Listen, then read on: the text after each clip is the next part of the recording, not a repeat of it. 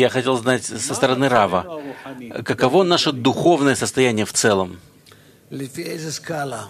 Исходя из какого оси, оси измерений? Э, По шкале входа в духовный мир. Ну, у каждого, каждой десятки по-своему. Я не могу сказать. Кроме того, если ты думаешь, что я тебе скажу, ты ошибаешься. Это отменяет человека, как Творец.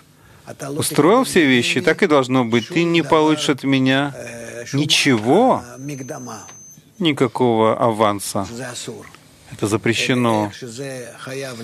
А так как это должно быть в духовном процессе, так ты принимай это. Я не могу я не могу этим поступиться, это отменить. Нет, я не, не открою тебе никакие формы или там какие-то картины. Нет. Эти вещи запрещены. Запрещено показывать, запрещено так влиять выше ступени ученика. Запрещено это делать. Этим можно его остановить и испортить ему его путь духовный.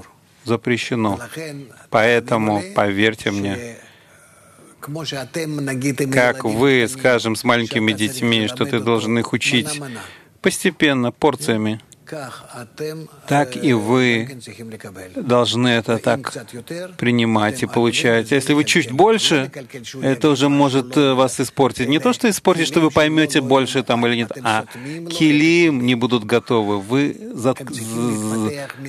э, закупорите им килим. Они должны сами развиваться. Они сами должны своего хиссарона развиваться. И поэтому вот это правило, учи отрока по его пути, вот как он продвигается, пусть так продвигается. Займет у него еще 10 лет, еще 10 лет.